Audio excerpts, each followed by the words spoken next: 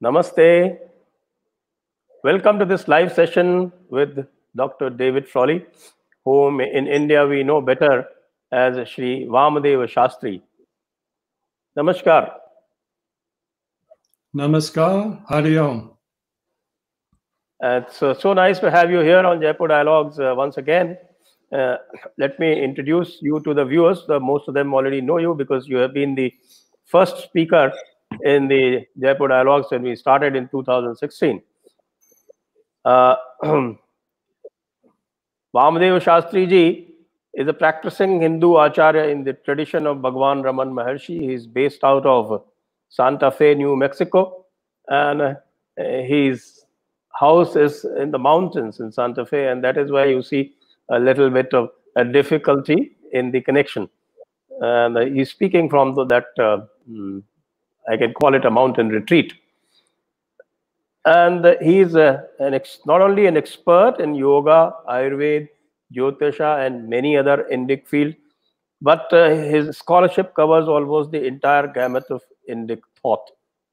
And one of the first person to challenge the Aryan invasion theory on the basis of Vedic literature.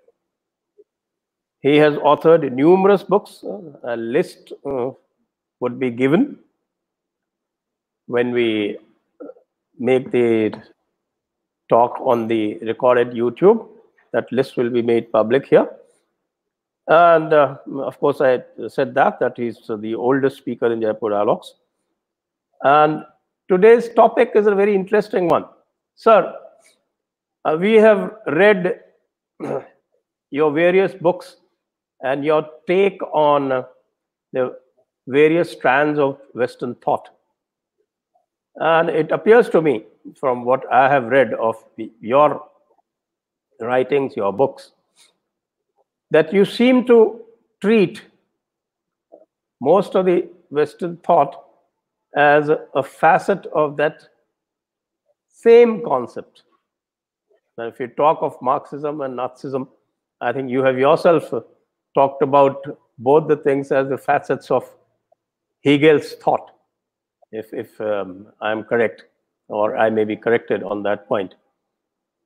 So can we discuss uh, about the Marxism and Nazism, Hitler's uh, National Socialism, from the point of view how the Germanic thought of Hegel proceeded and the racist theories that underlay Hegel's thought, some of it uh, may have been diluted in Marxism and were not probably diluted in Nazism. Thank you, Sanjay. I'm very happy to be with you. We are in our mountain home. We have only satellite connection here. Uh, it's usually good, but it does come up and down a bit. So I hope that the viewers can see me properly. In any case, we'll have a very good audio about the whole situation. Of course, we live in various trying times where various ideologies and religions are fighting. Now they have a new uh, platform, which is social media, besides mass media. Uh, going back in the 19th century, of course, they had the uh, colonial rule, military rule, economic rule, all those related factors. So today there are these additional challenges. And then we must understand that the Indic civilization has very different values and ideas than the Western civilization, particularly of the past few centuries. Or as it is said, uh, that uh, Western civilization is much more Rajoguna and is much more into the outer world, conquest, control, domination, material and political views, and even religion is largely cast in a political view of controlling, conquering, converting the world. So India has faced the onslaught of these ideologies and beliefs for many centuries. In fact, for well over a thousand years, India has been ruled by them politically at certain levels in uh, certain parts of the country for long periods of time. And they've also entered into the Indian educational system and the academia, Marxist uh, media. So many people, particularly those who call themselves intellectuals in the Indian context, are taking up uh, a mindset and a worldview that's based upon Western political, religious, uh, philosophical, social thought. Now, in my case, I was exposed to and grew up with the Indic thought starting about the age of 16. So I was able to interrupt my Western education and add to it an Indic or Dharmic perspective that later on became uh, predominant. And so, coming out of the West, we had, first of all, this whole uh, colonial assault on India. And this occurred not only at a political level, it also occurred at an ideological level with groups like Indology, with Western supported uh, Indological centers paying scholars like Max Muller and a whole team going on for decades, uh, rewriting India's history and culture and even retranslating and reinterpreting India's text in essentially a misleading light relative to Western politics and Western theology. At the core of this is Marxism today. And what we have to remember is that I would say Marxism is the most powerful or the most aggressive, destructive form of colonialism. Marxism is a political economic ideology that arose out of the Western world in the 19th century relative to the industrial revolution. Uh, Marx had a lot of his uh, inspiration from this revolt of 1848. Uh, so it came from a very different era and mindset. There was some Indic influence on the German philosophy at a mystical level, particularly Schopenhauer, but it remained a bit uh, superficial.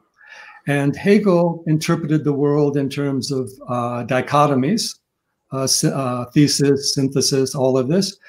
Uh, but his whole view had that division duality based.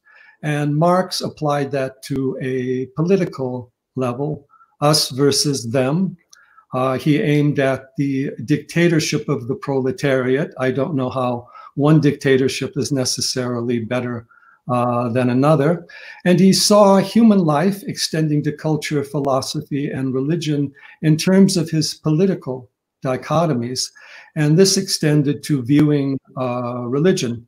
Uh, but even though he was fighting against the, you might say, the imperial powers of his age, uh, his worldview was still very materialistic, uh, Western, hegemonical. And he was happy with the Western conquest and colonial rule of the Eastern world. He saw that as progress, but he wanted to bring in his Marxist theories and Marxist approach relative to uh, the colonial world as part of it. So it's very interesting uh, today we had this whole uh, basically colonial missionary stereotyped denigration of non-Western civilizations, uh, not only India, but also China and all Native American traditions, uh, Native African traditions, uh, ancient traditions, pagan traditions, they were all kind of thrown out as, uh, whether it was from a religious standpoint, uh, kafir, heretics, heathens, polytheists, idolaters, all the rest of it, or from a political standpoint as being against Western progress, science, civilizational type influence. Uh, so this went on.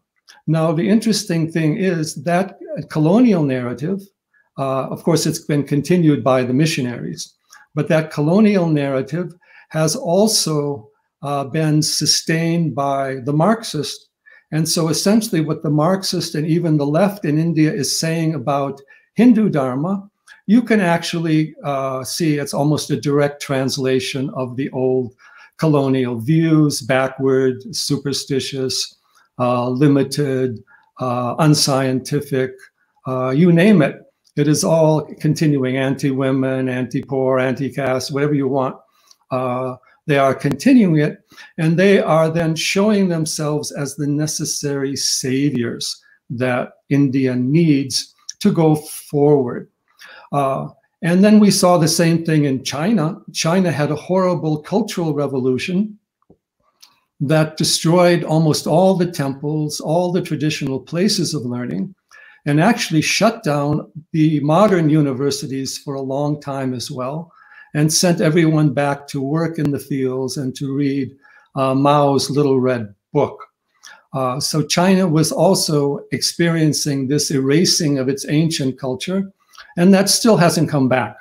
And places that China has taken rule, like Tibet, they've also aimed at erasing the traditional culture, uh, denigrating it, turning uh, Dalai Lama into a terrorist, and again, making Marxism, communism as the uh, way forward the only difference is in China, they've continued a strong Chinese nationalism, whereas the Marxists uh, in uh, India have been strongly anti national or even internationalist or even pro Chinese nationalist. For a long time, they were very pro Soviet Union. Now, Soviet Union has become Russia, which is embracing its ancient tradition.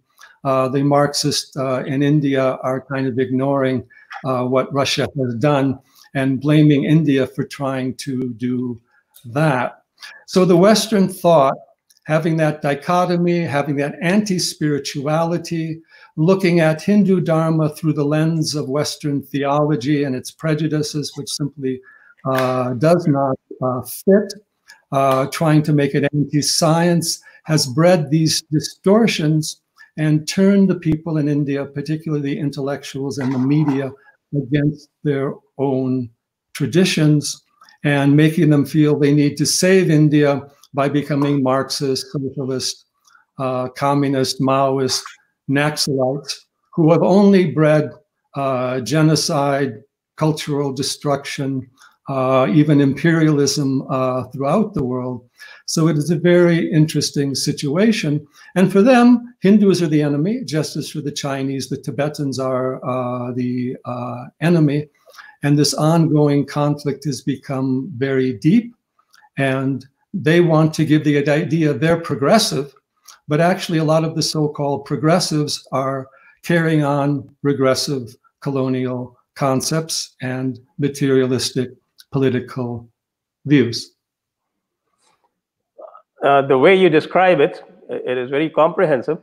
But uh, as I asked uh, right at the beginning, it does seem to be very, very similar to the National Socialism of Hitler, as also to the present evangelism as it is practiced. That uh, the Marxists want to save all other people from their backward ideologies, and the evangelicals, the Christians, they want to save everybody through Jesus. Yes. So national, national yes. socialism, evangelism, Marxism, they all seem to be cut from the same cloth. Yes. In fact, National Socialism was a form of socialism. It didn't necessarily portray itself as belonging to what we could call the right. National Socialism and Fascism in Italy were, of course, nationalistic movements, but they also had this idea of needing to internationalize, conquer, and control. And they were also very much supported by the church. In fact, there were fascist dictators in South America all the way through the 20th century, directly aligned with the Catholic uh, Church. And even in Europe, the Germans were allied with the German traditions, both Catholic and Protestant. Swastika was a hook cross that was the Christian symbol for them, not a Hindu symbol. They didn't have any regard for anything Hindu. They did have some sympathy towards their old pagan traditions via Wagner's opera, but like Parsifal, these were Christianized, and the church leaders supported. Uh, there were, of course, a few who didn't support, but the great majority supported the Nazis and the uh, fascists. And we also have to remember that there was a big alliance between the Soviet Union and Nazi Germany uh, from, I think, 1939 to 1941, where they partitioned Poland uh, and, of course, destroyed Poland. Uh, the Soviets killed thousands of Polish officers. They had a peace pact. And Stalin also, when the Germans attacked uh, uh, uh the Soviet Union, Stalin at first didn't believe it because he thought they were allies. So they did have a common agenda for a long time, and they had very common factors of controlling the masses, propaganda, writing of the history books, uh, controlling the media, forced genocide, movement of peoples, and this kind of very, of course, a materialistic view of the German, of course, still had more of a religious base, but this still view that they were going to save the world and they didn't have a regard for anything Indian, Dharmic, or anything like that. They were still carrying on an arm or a wing of the Western tradition. And wherever the communists went, uh, they also brought in all the aspects of Western culture, alienated intellectuals from their own traditions, and became against them. For example, even in Southeast Asia, the communists were, of course, anti Buddhist. Uh, in China, of course, they were strongly anti Buddhist for a very long period of time. Today, they are supporting Buddhism, but they're really subverting it for their own political aims, not supporting it at a real cultural level. Now, what the missionaries do is the missionaries denigrate traditional cultures in order to uh, convert them and even though their goal is supposedly religious, they take over power politically, economically. They buy large amounts of land, and then they control the people and the traditions involved. And they destroy their native cultures, uh, turn their people against them. And there's a long history of this all over the world. But unfortunately, people don't realize that this process has not come to an end. Uh, we live in a part of the United States that has a large Native American population. And our Native American friends who live in a village of 3,000 people say there's 19 different missionary groups at work in their particular village. India is the biggest target globally for missionary activity. One, because it is the most populated country in the world, slightly behind China, perhaps. And also because it's the only one that really lets the missionaries in. The Chinese don't let them in, Islamic countries don't let them in. Uh, so the missionaries, instead of uh, appreciating India's tolerance, you might say, have now used that openness to target India for massive uh, conversion, which is happening from Andhra Pradesh to uh, Punjab, and even in, of course, Kerala has been going on for a long time. So all these three ideologies, uh, the Marxist, the fascist, the uh, colonial and missionary movements have been connected. Sometimes they even ally together. And they have the common goal to remove the native cultures and uh, replace them with a Western culture. Uh, it may be religious, it may be more political, uh, but in the first stage, they want to destroy the native culture so they can come in and they work by going either after the intellect into the intellectuals, or they also work by uh, money and power. Oh, quite right. They subvert all the native traditions and they subvert the intellectuals and uh, all the other all the other traditions, the traditions that they see as the other. And uh, as far as uh, the United States is concerned and the Hindus in the United States are concerned, I think they seem to be getting it both from the left, which is the Marxists and uh, such uh, outfits, and also from the right, that is the church and uh, the evangelicals and such forces. That seems to be the uh, real uh, irony of the whole situation.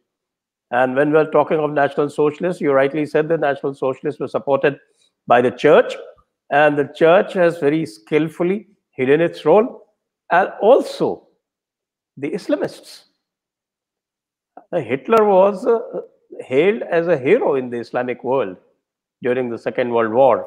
And uh, one of the foremost uh, operators of that was that uh, uh, Haj Husseini, the the Grand Mufti of uh, Jerusalem, who was sitting in Germany most of the time as long as Germany was winning. And when Germany started losing, then he fled to Egypt.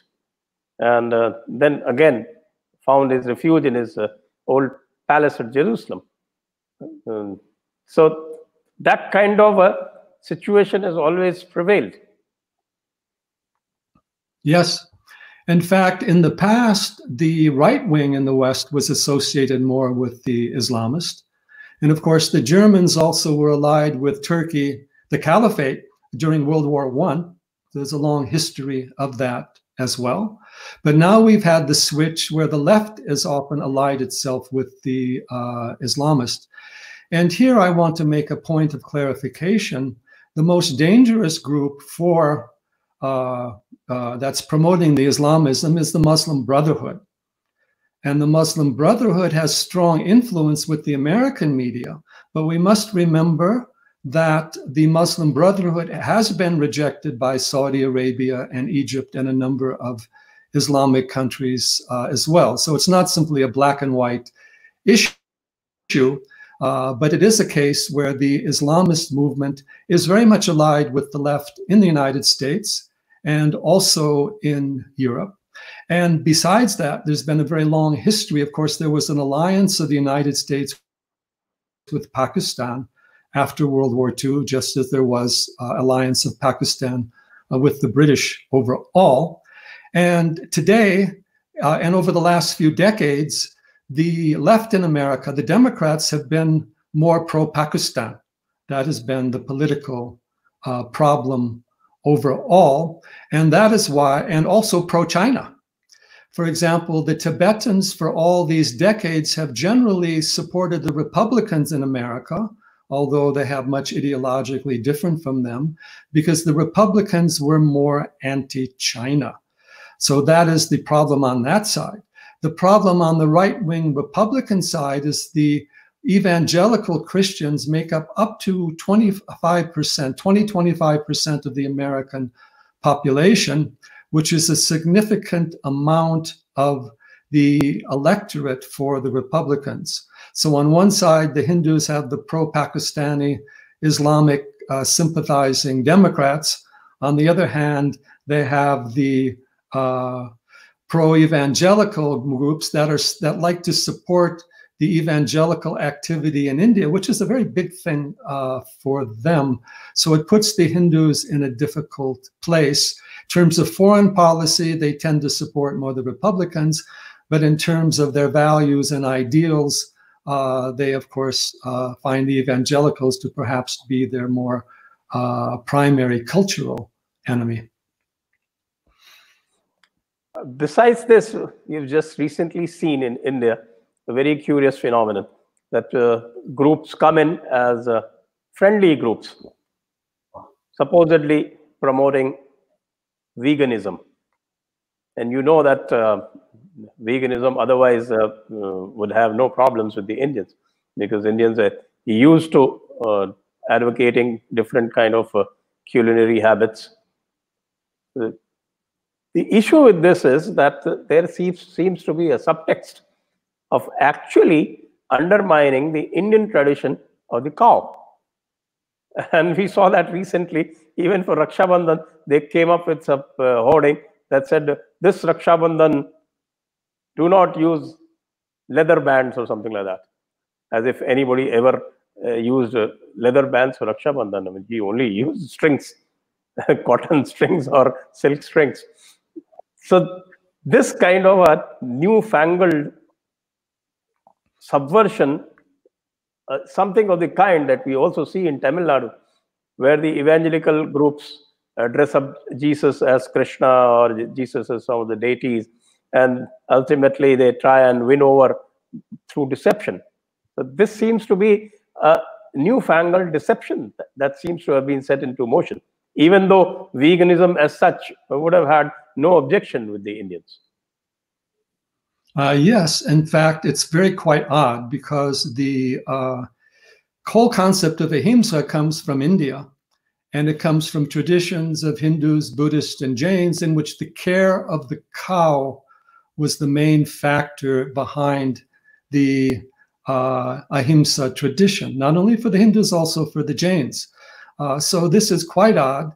And now, under the guise of ahimsa, the certain vegan groups are telling Hindus not to have any cows at all, uh, not to take any dairy products, uh, because it's harming to the animals, uh, and to essentially uh, negate the entire cow culture of India, both at agricultural and also at uh, cultural levels overall, uh, which would just devastate these parts of India economically. And it's also gone so far as to have some of these groups go against Ayurvedic medicine, because Ayurvedic medicine uses lots of dairy products, ghee, uh, milk, cow products, and not only for diet, but also in preparation of medicines. And telling uh, Hindus not to use ghee and giving the impression that Ayurveda is oppressive to cows because it uses dairy products. And also forgetting the whole history of the compassionate care of the cow from Krishna to uh, Mahatma Gandhi and uh, beyond. And the fact that cows are at ashrams and temples and treated very well. And that there's also the effort to protect and preserve the Desi Gai, the cow the native cows of India and their uh, breeds. And then the same groups that are criticizing Hindus as not being, uh, as violating ahimsa by taking care of cows, are very soft on Muslims, even for Eid, uh, which slaughters hundreds and thousands, if not millions, of goats. And what I found from going over it, uh, these groups will attack like Jallikattu, uh, as a uh, oppressor of, of, cows or bulls because of the cow uh, racing uh, involved. Cows are not, uh, bulls are not actually killed. Uh, but so what their logic is, is that they say they do not criticize directly religious festivals, which Eid is, but Hindu cultural festivals like Jallikattu or even Diwali, you can go after them because they are not religious festivals. They are simply cultural festivals. So they've kind of removed any religious spiritual sanction for uh, Hinduism and given that to cultures that eat meat. They even made the Pope their person of the year, uh, even though he uh, uh clearly eats meat and even veal, supposedly, uh, and that the Catholic Church has no uh, qualms about promoting uh, a meat diet. Raised a Catholic, we were told to eat fish on Fridays. That as far as we went towards vegetarianism. So that hypocrisy is there, that they are supporting powerful groups in the Western world that are trying to convert Hindus, even though they eat meat. And they're criticizing Hindus and trying to undermine the Hindu traditions for the care of the cow. Cows should be treated well. I'm not supporting factory farming and manipulation, genetic, manipula genetic manipulation of cows, but this is ridiculous to target the Hindus. In fact, you could take the opposite standpoint that let's work together to promote uh, vegetarianism in various uh, ways.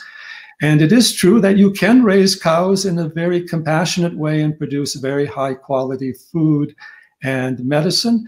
And you should be, as a natural, supporting natural systems, you should support Ayurvedic medicine, the world's largest, oldest natural healing tradition that doesn't, that emphasizes, that gives a place for vegetarianism rather than uh, shutting it down. What are people going to go to? Modern medicine, drugs, you know, uh, nutritionists who tell them to eat meat or all the rest of it. So there's a lot of hypocrisy there. And part of it is because the people running these organizations have not studied the Indic tradition at all. Not only those who don't come from India, which are still running most of the organizations, but those who are raised in India, they become secular missionaries against their own culture and they pontificate against their own culture and they tend to kowtow to the Western groups, including Marxist missionaries Islamist uh, leftists that don't actually support them on the dietary level either.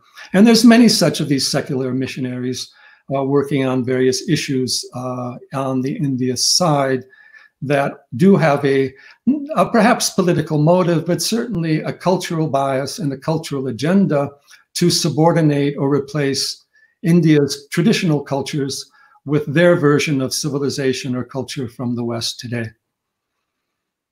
You're quite right. I think that's a very good term to use, secular missionaries. I would also request my viewers that uh, uh, if you're liking this uh, episode, please do like, subscribe, and share. And also, do not hesitate to ask questions. Vamadev Shastriji is with us even after the talk finishes. And you can ask your questions through Super Chat. So keep firing the questions.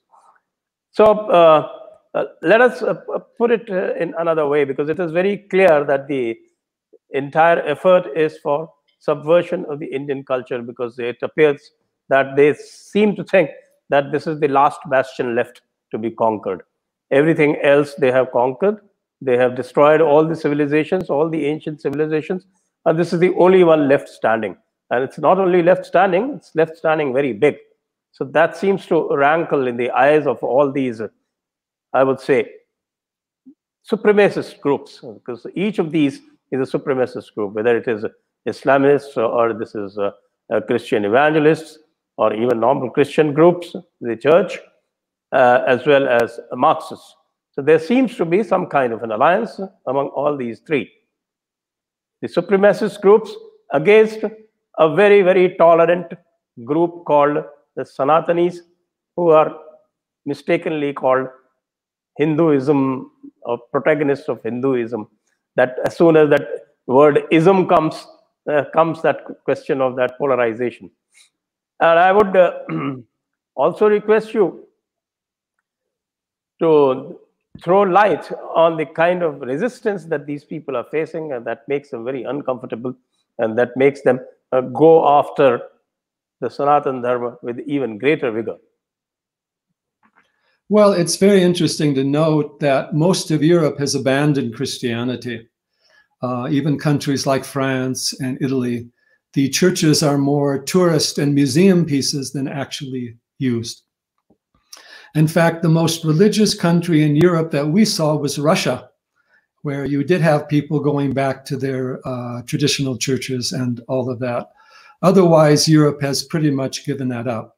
In the United States, the evangelicals are regarded as a backward force, and they are also criticized at a social and political level within media, academia, and all of that. The strange thing is they are often still supported at a level of foreign policy. For example, the New York Times that criticizes the evangelical vote uh, does support NGOs of an evangelical nature working in countries like India. So I've asked some of these people why they do that. And their actual answer was very simple because they said it's a spread of Western civilization. And we feel if they come in, uh, we can come in after them. So the evangelicals are being accepted as a wing of foreign policy.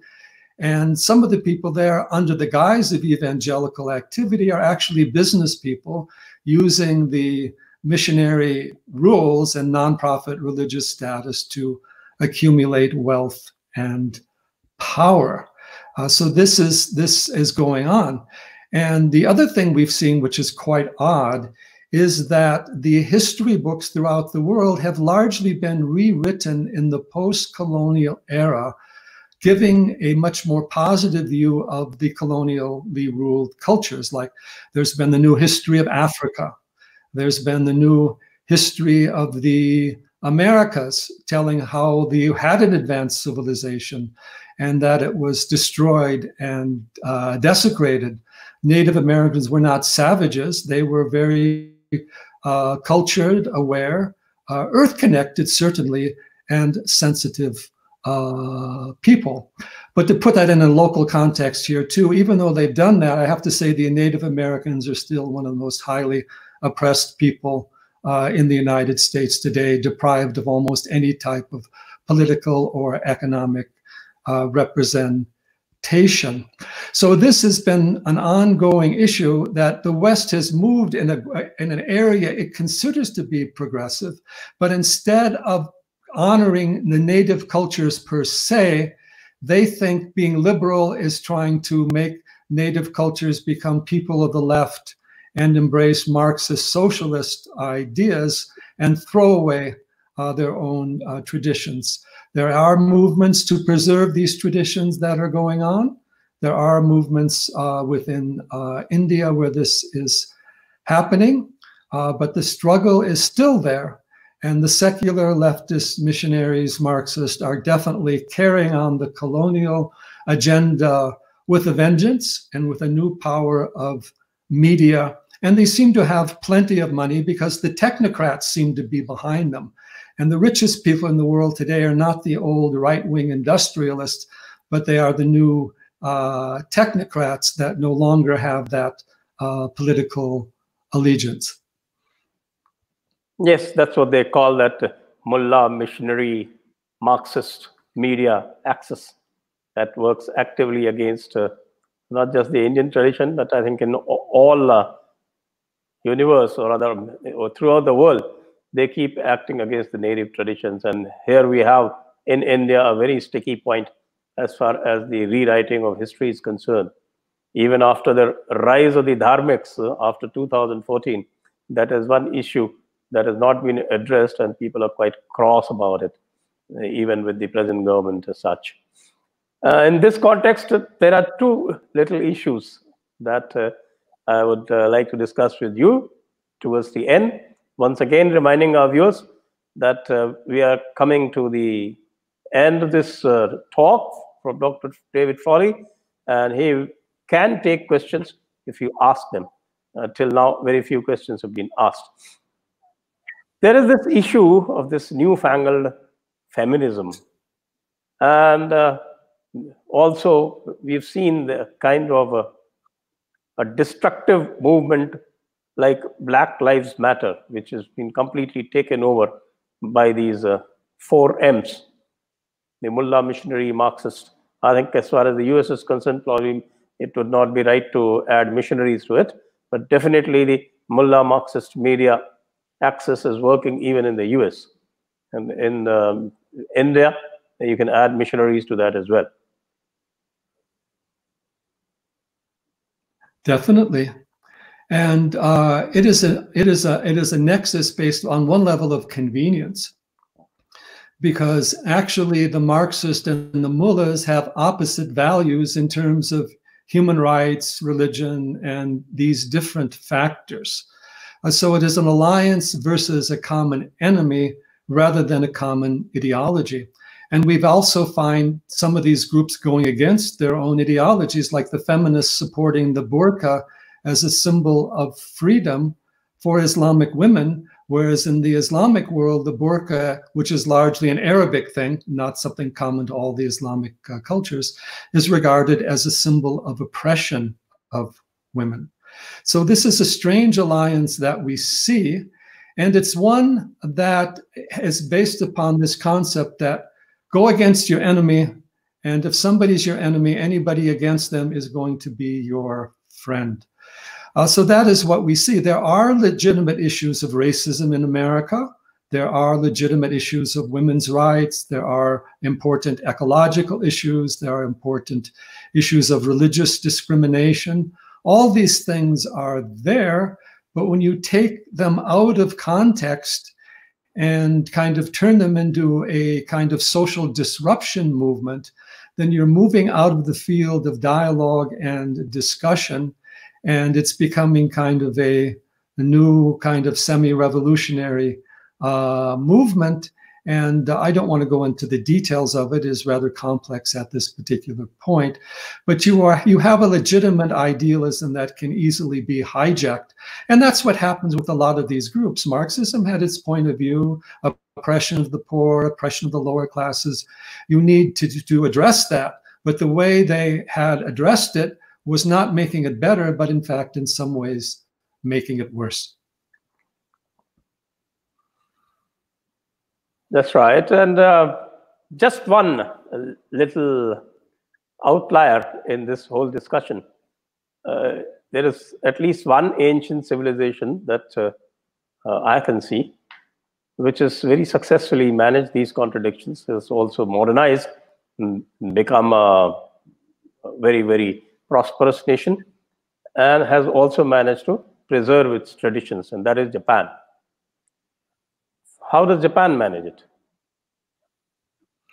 Uh, Japan is very interesting. First of all, Japan was the only main country in Asia that threw the missionaries out in the 17th century and essentially never let them come back in again. Uh, in the in the 19th century, they brought in Western science and economics and even military factors, but they didn't bring in the religious missionary side in order to do that. In fact, they uh, supported their own tradition. Some could even say they went too far, Japanese imperialism.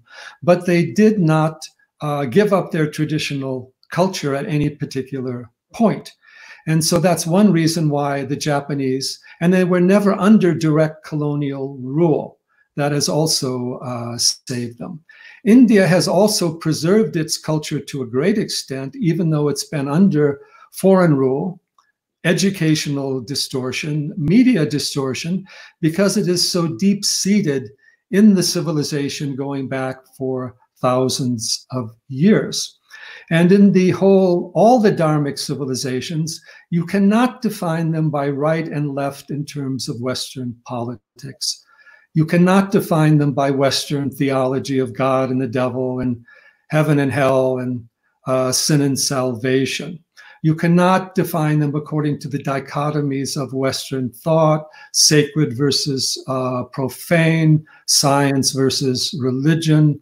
And so uh, when you bring in these outside ideas, you breed distortion.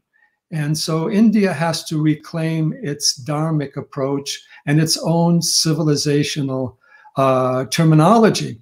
Uh, India has to ally with various countries throughout the world. Modi, I think, has better relations with a variety of leaders throughout the world than any other uh, head of state.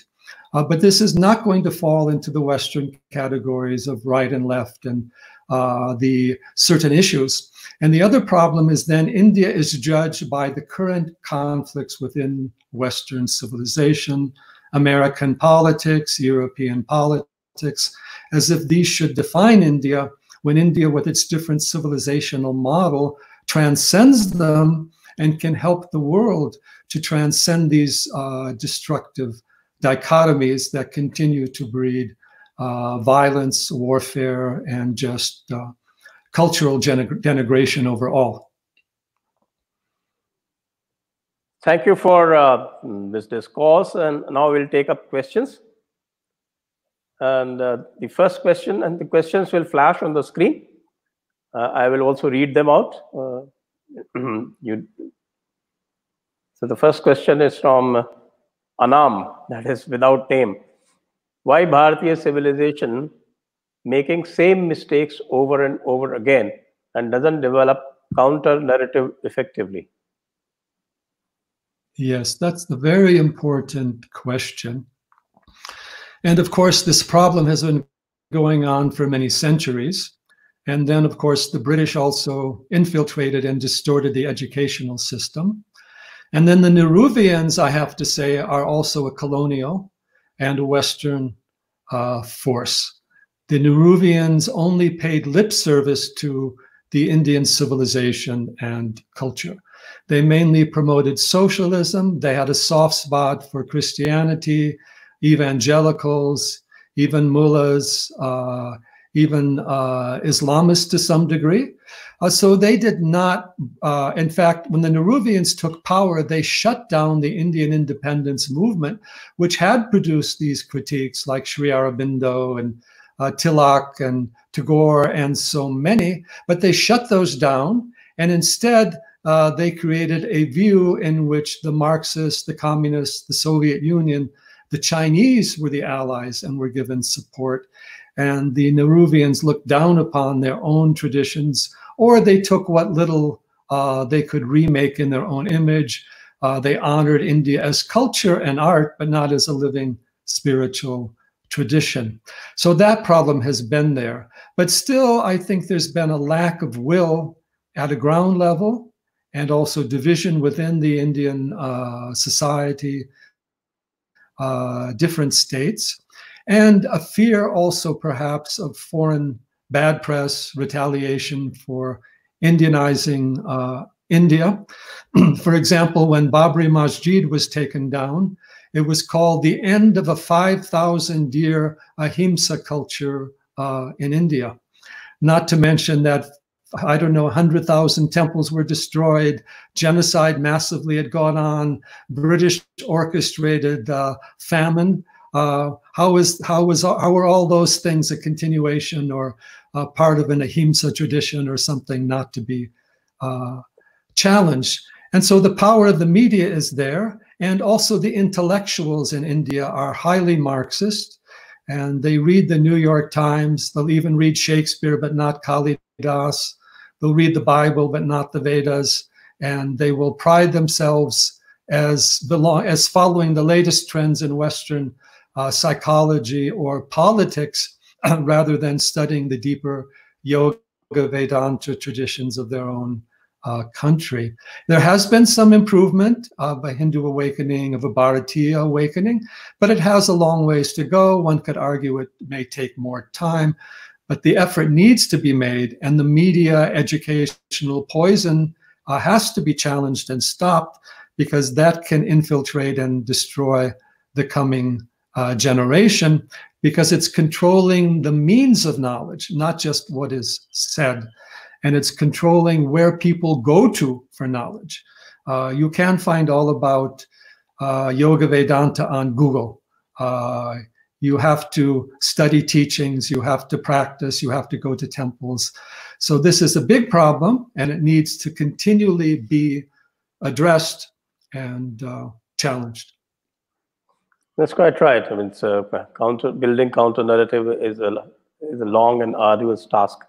After all, the narratives against Islamic civilizations have been patronized and have been going on for almost 200 years. And uh, I think the awakening is only a few decades old. I think uh, hmm, probably started with uh, uh, Sitaram Goel and Ram Swarup, and uh, you also collaborated with them a great deal at that point of time.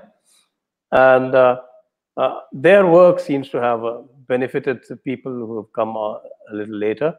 And we are reaping that benefit and I think trying to string up some kind of a counter narrative. The next question. Uh, this is Kapil Chauhan.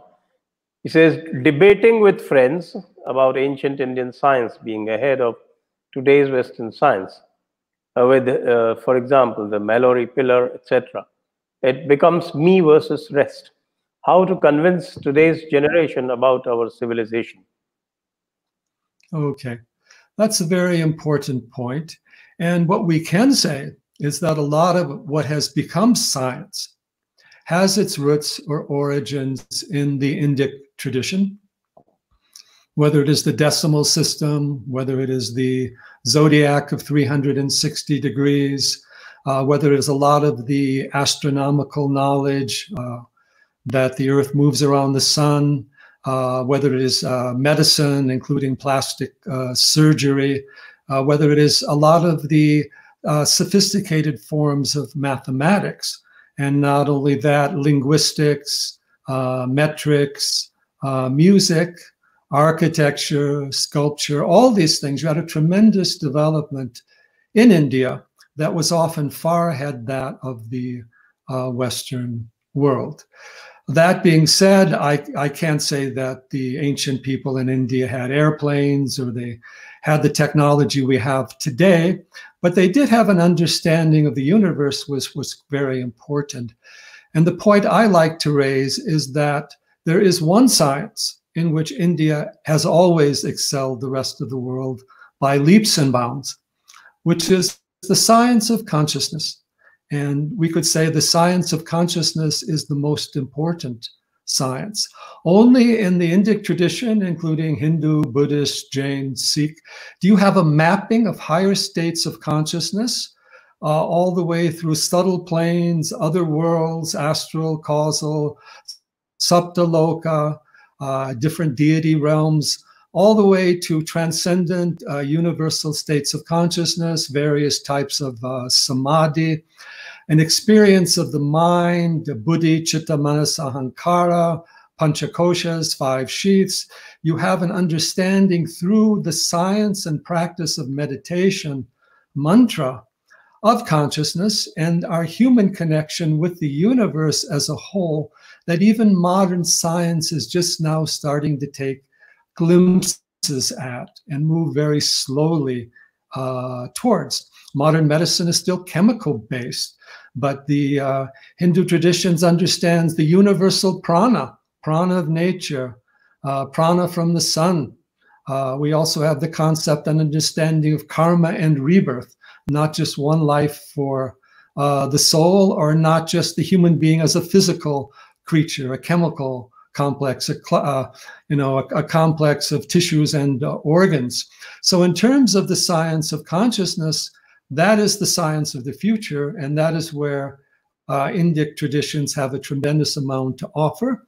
History of science should be rewritten relative to its Indic uh, contributions. It was never a question of Arabic uh, numerals. And even astronomy, they say, oh, the Hindus got their astronomy from the Greeks. But it doesn't work very well because the Greeks and the Romans didn't have the decimal system that the Hindus use for calculation, which is much simpler. And the mathematics that the Hindus use to plot astronomical positions came from their own mathematics, not borrowed by the Greeks and the Romans. So these are a few factors involved. It's quite, quite right. In fact, uh, I might uh, like to tell viewers that uh, we are exploring the knowledge and wisdom of uh, only superficially. His real wisdom lies in the realm of yoga and consciousness, which, if uh, there is a strong demand, only then we will go because that's a very difficult subject. It's not easy. And uh, he addresses it from the point of view of experiential pramana the pratyaksha pramana of experience. That's not very easy to have for most people. Next question. Uh, how are you seeing vegans theory linked with PETA? Well, uh, PETA, you know, the People's uh, for the Protection of Animals, uh, has been closely allied with the uh, the vegan movement and has been promoting the vegan movement. Of course, we say they've been promoting in a selective way and by uh, degrees, depending upon uh, which culture, which country they are working with. And uh, they're, they've been putting this almost religious idea that anyone who takes dairy products as violating the vegan principles is on par with somebody who eats meat and all the rest of it. So that has been there. Uh, there's also a huge commercial uh, vegan uh, movement. I won't go into that here. We don't have time. Uh, but there are also various dietary movements based upon these things that are that can be questionable in terms of what they are offering, not because it's vegan, but because of the food types or food combinations they may uh, recommend. So vegan has become almost a religious cause for certain people. And we have to understand that what's necessary is raising consciousness for humanity. Proper care of animals is an important part of that, but there's also the honoring of native traditions, uh, protection of ecology, protection of natural healing uh, traditions throughout uh, the world. Uh, you know, the Tibetans live at, uh, a lot of them live, you know, at uh, what, 4,000, 5,000 meters, so that vegetarian food is very difficult for them. Are we going to throw out Tibetan Buddhism because it is not uh, vegetarian? So there are other issues involved.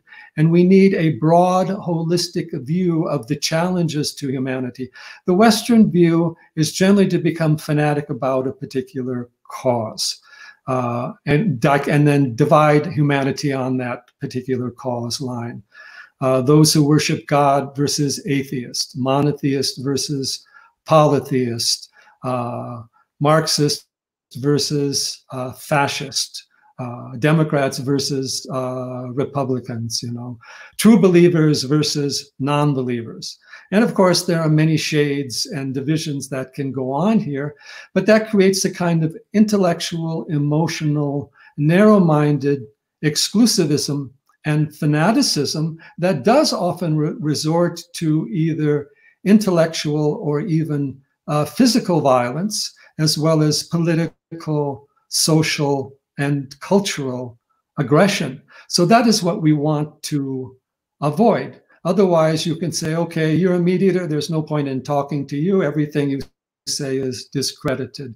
You're against this section of society, therefore you're finished. Your ancestors were against this section of society, therefore you have nothing that you can say.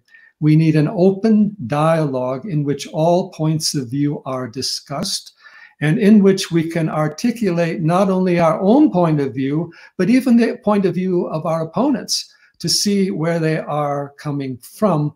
The goal is to discover a universal truth, not simply to take a particular faction and then have that faction as the last word on everything else that is going on. And that is the more universal approach we have in Dharmic traditions, which ask us also to meditate, not just simply to uh, go out and proselytize or uh, seek votes, however important these things may be in certain contexts. I take the next question.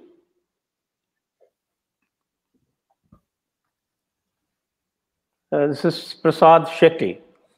He's asking, can we call Indian left liberals as Indian right?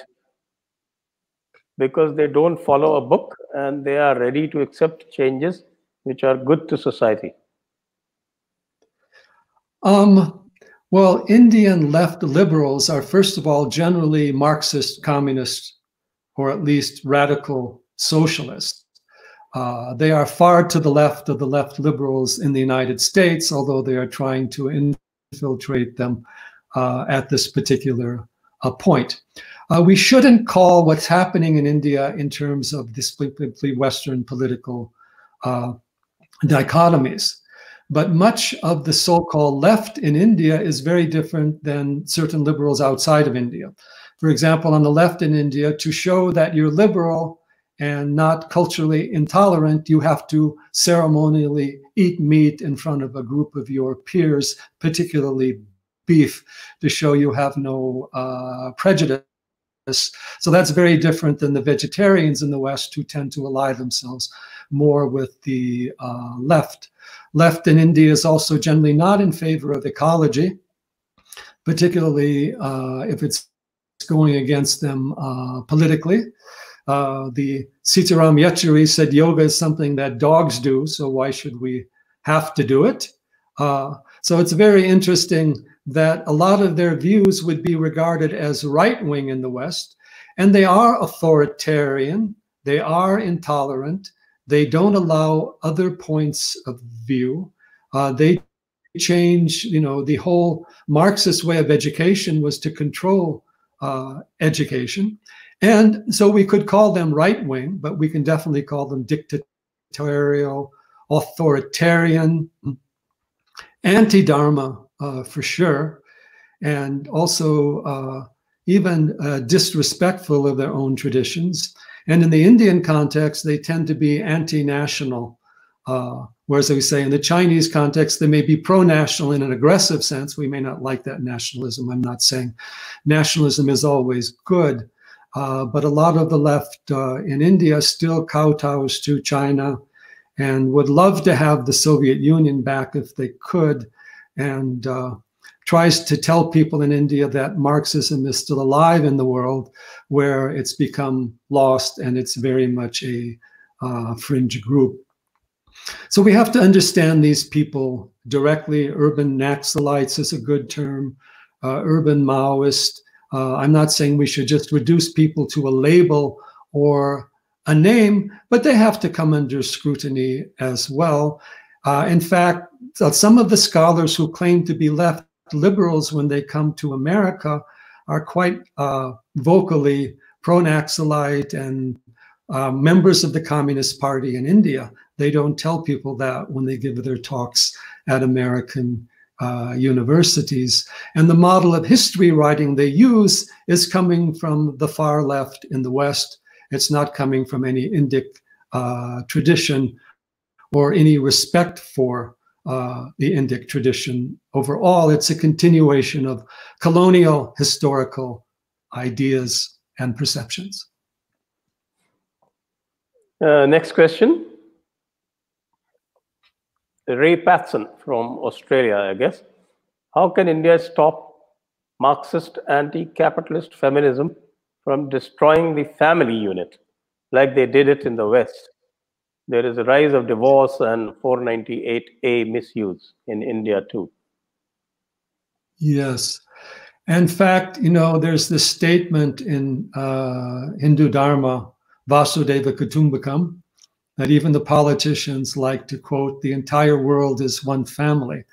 And I have to tell them in the United States, the family is almost gone. Uh, I would say probably uh, half the children are being raised in single family units, uh, or at least a third. And even those who are raised in family units, the parents, they don't see so much of their parents. And family units can have different structures than a male or a female or a father and a mother.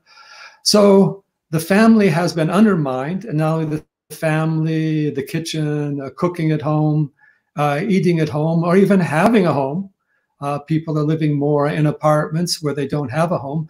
And the younger generation is now not getting married, marrying later, or not having children, or uh, getting divorced, multiple partners, not only in the United States, but also in Europe in a very big way.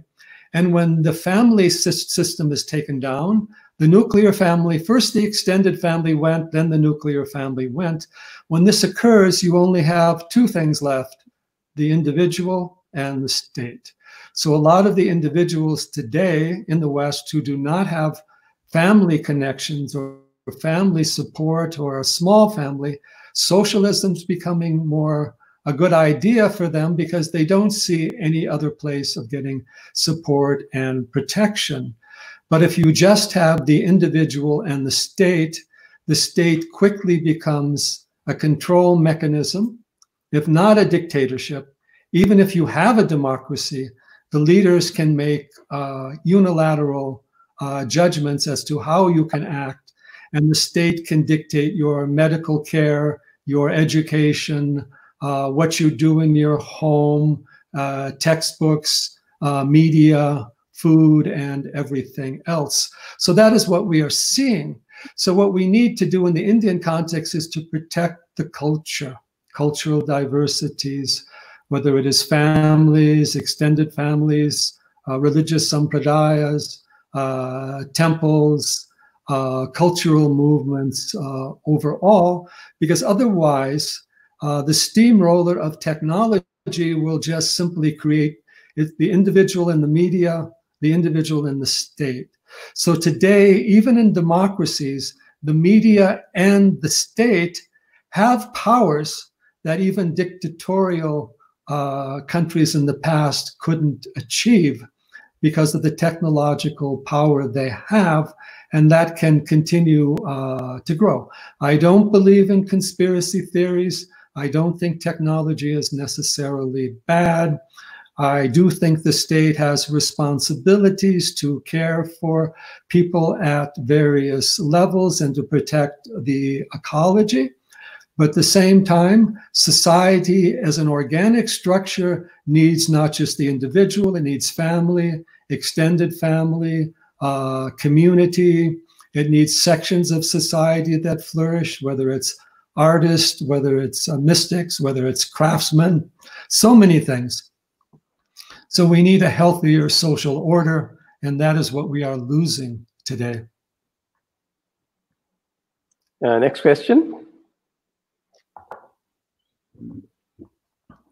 Okay, this is from Canada. Greetings from Canada. Was Mrs. Gandhi good for India? She is viewed as a nationalist, but was a miscalculationist, I don't know what that means, who was the best of all Gandhis. After Modi, who will take this forward? This momentum needs to be kept up. Well, first of all, relative to uh, Indira Gandhi, you do have to interpret her in the context in which she lived and the time period in which she lived. And she was able to save India from Chinese, American influence and uh, Pakistan, uh, the problems that were coming up there. On some levels, she did support the traditional culture, whether it was her gurus or her going to temples, all of that. But at another level, she sold out the educational system to the Marxist. She sold out the foreign policy to the Marxist allied with the Soviet Union, not so much allied with China, although that came later on uh, in the Congress uh, dynasty per se. She also set up Congress as a dynasty rather than a political party. And uh, she took over dictatorial powers during the emergency. And then she gave people the idea that India was a dynasty. The Gandhi Nehru family had the right to rule, and uh, their views represented the ultimate uh, truth. They cast that shadow on the country. Uh, since then, of course, they have lost power. We still have the shadow of the Gandhi dynasty, the Nehru Gandhi dynasty, trying to survive. It's very difficult because they have someone who lacks the motivation or perhaps the intelligence or the interest uh, to do it. And anyway, a dynasty doesn't have a place in democracy. India is the most dynastic of the democ democracies. And with 1.3 billion people, you have to have a better representation at a national level than a single uh, family. So there is a movement to go forward. Narendra Modi has done quite a bit. He did uh, inherit an economy that was uh, pretty much destroyed, an educational system that was undermined, a bureaucracy that uh, was highly uh, compromised. Unfortunately, today there is an there's this terrible pandemic that is compromising what can be done at economic and uh, other levels. But at the same time, I think as time goes on, there is more room for this uh, revival of the deeper traditions of India, which are not hostile to higher knowledge or modern knowledge or even science, technology. They just want to see those used in a more dharmic way and a less politically uh, divisive way or as the vehicle for various uh, vested interest groups. But we have take, to take the situation very seriously, particularly at educational and media levels, and address the problems. And that is going to co- take a lot of national will. Uh, India, after all, has a population greater than all of Africa. It has one sixth the population of the world. It has various states with uh, certain governments and points of view. So there are many challenges, but it will go forward and a greater effort needs to be done at all levels, whether it's economic, political, educational, and spiritual. And don't worry about what other people are going to say. If you worry about the New York Times, if you worry about the BBC, they'll put you back in a colonial uh, uh, yoke and uh, they will continue to control and denigrate. How can they be, after British induced famines, the British should just be quiet about India? Uh, New York Times uh, was actually supporting, uh, was against the Indian independence movement and supported people against that. So they should also be quiet. They've also been supporting Pakistan uh, for uh, quite a long time uh, as well. So have more confidence, go forward and change things. When Ram Mandir is coming up, it's not going to go down again. But if you keep the issue going for 70 years, it just becomes a problem. Be more decisive, act more quickly. Don't worry about what the foreign media that doesn't like you have to say anyway. And the world honors those who are bold and strong and self confident.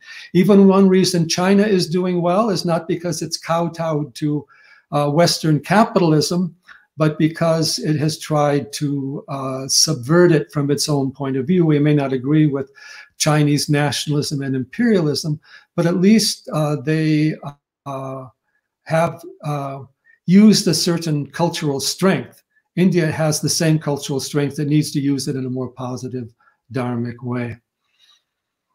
Uh, that's right. Uh, I just have one observation on this is that one of the weaknesses of the Dharmics has been that they seek to get the approval of those very forces that are denigrating them and that are subverting them. That seems to be a long term weakness. Yes. So we go on to the next question. Uh, this is Yes, Should. Hindus raise the issues of uh, Pasmanda, Dalit Muslims? Actually, Pasmanda means backward, so uh, it's not exactly Dalit Muslims. You must understand the. I'm addressing the person who's asked the question that it is Ashraf, the Ashraf class, the Ajlaf class, and the Arzal class. And the Ashraf class are those uh, traditionally those who trace their lineage from the Arabs and Persians and Turks, and also the upper class converts. And they are about 5%, and the rest of them are all Pasmanda. That is backward, and uh, the Arzals are still treated as untouchables in uh, most Islamic societies. So, uh, should Hindus raise the issue of Pasmanda Muslims who are discriminated by Ashraf Sayyid, upper caste Muslims, or Muslims of foreign descent? This is one by two. So, there is The a second part as well. I think there is. Okay. Is there a second part? No, there isn't. Okay. That's the question. Okay. Well, first of all, I think it's important that this uh, we change this uh, dialogue and debate about rich and poor and caste and non-caste. Uh, in India, there's often this idea that the India, the poor people, all oppressed by rich Brahmins. I remember coming into an airport many years ago, and one of my uh, uh, as American nearby made the comment uh, when a reporter came and picked up somebody's bag that this must be a backward class person and the Indian who made him carry the baggage must be a Brahmin. Uh, so these are distortions. Brahmins are also among the poor. Uh, a lot of the rich people include a lot of socialists and leftists, by the way, as well as inherited wealth of Gandhi people, Lutyens, Delhi. Uh, so there are issues of rich and poor, educated and uneducated in society, but we have to put them in the proper context, which is not simply religion and caste. Uh, there are Dalit groups that need to be supported. There are Dalit issues that need to be supported, but it's not a Brahmin versus Dalit issue. All over the world, we have issues of the rich and the poor, or educated and uneducated, or even sometimes now the poor may be more educated than the rich and it doesn't help them.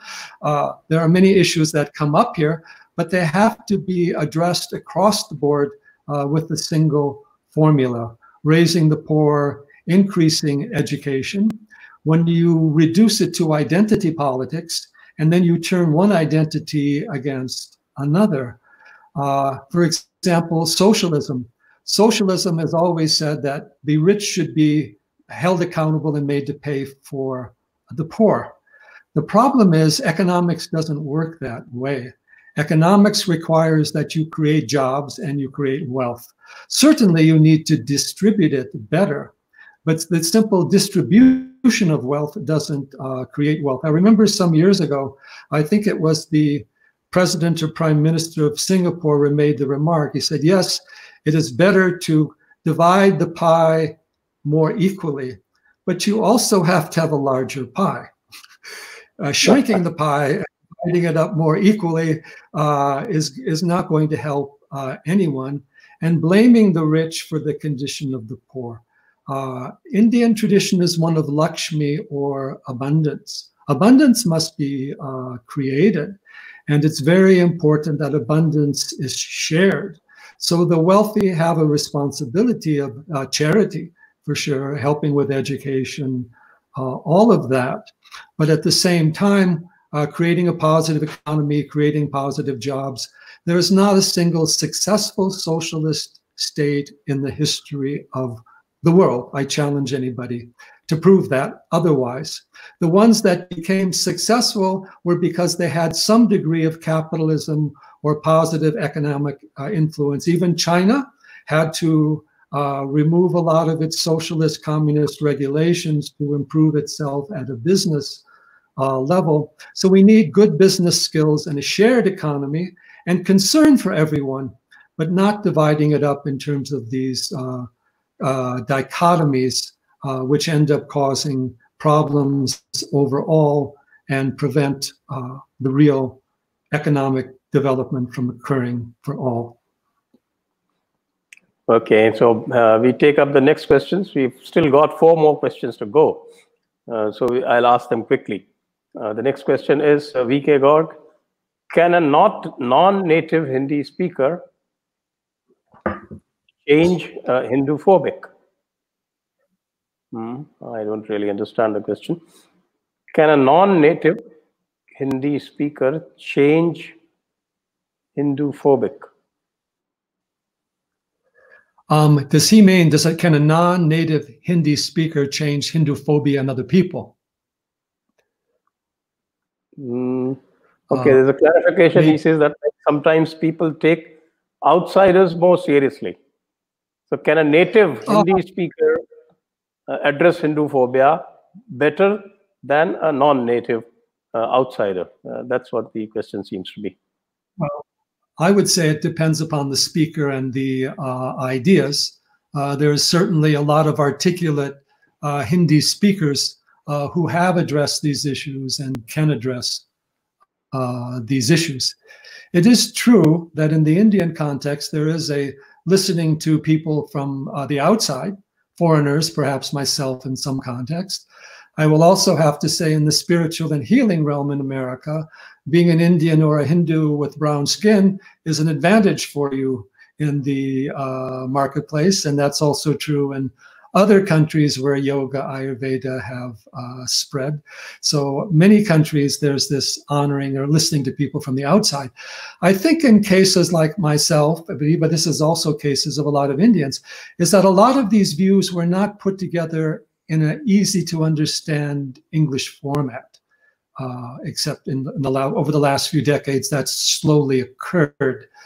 And then even in the media, instead of bringing someone to uh, speak on the Hindu view in, in, in a pos- an easy to understand English, they brought someone who had a muddled English or uh, half Hindi. And so the people tended to associate the intelligence and articulation, unfortunately, uh, with the English uh, medium.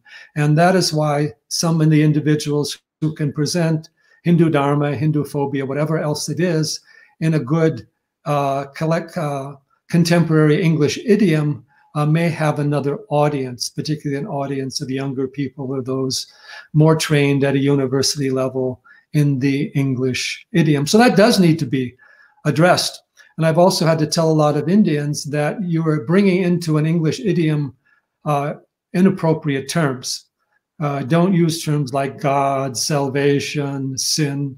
Karma is a term used globally. Use karma.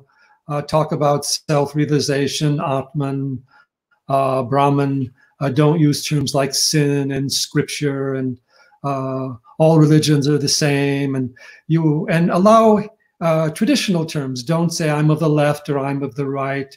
We have terms of dharma, adharma. so bring the Sanskrit into the English uh, which is say Chinmayananda did very well, and also is happening to some extent uh, globally, as we have uh, said, and challenge these uh, distortions. A lot of the distortions, the missionary rhetoric against uh, Hinduism or the Marxist rhetoric is because they're using Marxist dichotomies or missionary uh, dichotomies. You know, Marxists are trying to use caste warfare instead of class warfare. And missionaries are still saying, you know, heathens and idolaters, or at least uh, people who are not sophisticated monotheists the way uh, they are. So the language issue needs to be addressed, and the Hindu Dharma needs to be presented well, not only in English, but in all the dialects of India as well, with the respect for the Sanskrit idioms, and a study of the great gurus of India, many of whom have very good English, like Sri Aurobindo or uh, Vivekananda, Chinmayananda, uh, Swami Dayananda Saraswati, so many. Uh, so that all needs to be addressed overall. Uh, next question. Next question is uh, Shankar Kumar Chatterjee. So, what is at the root of the morbid fear of the West? Evangelists, Marxists, Islamists harbor. Uh, sorry, uh, I say, what is at the root of the morbid fear that the West, the evangelists, Marxists, Islamists harbor for our dharmic way of life, whether it is Hindu phobia yeah. or Hindu misia? Well, I would not call it fear. I would say it is aggression. It is a bold aggression because India is vulnerable and Hindus have not fought back again proper against that properly. And Hindus have created silly ideas like all religions are the same that tends to disarm them. So Hindus are an easier target. And then in the Indian context, the Indian intelligentsia uh, got taken over by the left and stopped defending its own country and so there was another way for these uh, forces to get in. So they're not afraid of it. Now, the main problem they have with India is that the Indic model of civilization uh, is something that uh, bothers them because it's outside their sphere of influence. And when people in the West start taking up Indian systems like yoga, Vedanta, Buddhism, uh, that bothers them quite a bit. So if they have a fear of Hinduism, it's more at a metaphysical uh, level or at a cultural civilizational level, India as a whole. Uh, but many of the people are not sophisticated. They just feel that we'll be aggressive and get India. If we don't, somebody else will. Uh, and their, their distortions are hateful. I mean, they are racist or they are religious uh, prejudice uh, the distortions that they use idolaters, heathens, kafirs, whatever else. Uh, it may be backwards, superstitious. Uh, denigrations of various type are there and need to be challenged. But we also have to look at that root of aggression. They represent uh, civilizational models aiming at converting and conquering the world. And India has held out best against them. And perhaps they're afraid if India uh, survives, then the other countries in the world will revive their native traditions. Europe native traditions, pagan traditions are coming up, have a very long ways to go. South America, Mexico, they're coming up to some degree, but that movement needs to also be emphasized. And it's not just a question of the West versus Hindus. It's not even, a, it's a civilizational issue of, we might say, uh, these kinds of dogmatic, dichotomist ideologies against the uh, abundance, cultural abundance of the planet uh, overall. So, in that regard, uh, the challenge has to be brought out at a civilization and cultural level, as well as uh, political, uh, economic, and uh, foreign policy. So, we come down to the last question of the day. And the last question is I think uh, this is the same person who asked the first part of the question.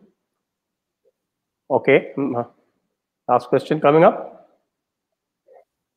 Okay, this is Shashank Dikshit about reservation system in India. Is it good or bad in long term? Will it ever end? Well, India does have the largest reservation system in the world for the longest period of time. Well, one could say, given the size of the country, the need for economic development after independence, that perhaps it was necessary, at least to uh, some degree. My main question about it is that it was defined too much along the lines of uh, social identities rather than across the board. In other words, helping a particular group, a particular identity, members of a particular religion, rather than just helping people who were poor or backward or improving education, improving economics overall. Because when you reward people for an identity, you strengthen that identity. And in India context, if you reward dozens of identities, uh, you have dozens of groups that are then competing for their identity rewards and looking at themselves in terms of a limited social identity rather than the broader interest of raising the country as a whole. And because India was partitioned in the beginning based upon uh, a religious division, uh, you also then are kind of giving a sanction to almost every identity uh, affirmation or reward, and the national unity then gets uh, reduced. But certainly there needs to be equality, there needs to be help at an educational level, there needs to be skills for the poor, there needs to be protecting what is good in the village economy, eliminating what is bad. India has the largest agricultural sector, percentage wise by far, of any country in the world. And in the long term, that's probably not sustainable. Uh, so it's not just a question of subsidizing the agricultural sector, but of renovating it, transforming it, or like other countries, getting people jobs outside of the agricultural sector, which is limited by the advances in the modern uh, technology. So that across the board approach I, is, I think, necessary. And reservation based upon identity politics, I'm not saying it has no value, but it has to be approached very carefully and as part of a national reintegration, cultural reintegration, rather than just simply uh, rewarding or giving one group benefits over uh, another group. And certainly there should be greater charity in the society by the rich and concern for not just simply government agendas, but for helping uh, people out in various levels of jobs, business, and a greater sense of uh, national unity and social welfare overall. So that brings us to the end of this uh, dialogue today. And um, you've had the benefit of listening to some very enlightening ideas from Vamadevji. Thank you very much, Vamadevji, and we'll keep bothering you like this. I think uh, the, the, viewers oh. enjoy listening to you very much. It was uh, really a wonderful session. Thank you so much.